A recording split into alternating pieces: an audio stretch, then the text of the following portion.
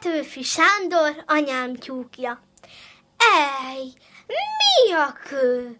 Tyúkanyú, kend a szobában lakik. Itt, bent, lám csak jó az Isten jótát, hogy felvitte a kendolgát. Itt szaladgál föl is alá, míg a ládára is felszáll. Eszébe jött kotkodákos, nem verik ki a szobából. Dehogy verik, dehogy verik, mint a galambot etetik. Válogat a kendermagban, a kis király sem jobban.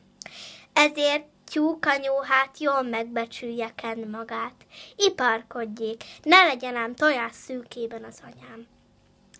Morzsa kutyánk hegyezt füled, hadd beszéljek mostan veled. Régi cseléd vagy a háznál, mindig emberül szolgáltál. Ezután is jól itt morzsa, kedvet ne kapja tyúkhúsra.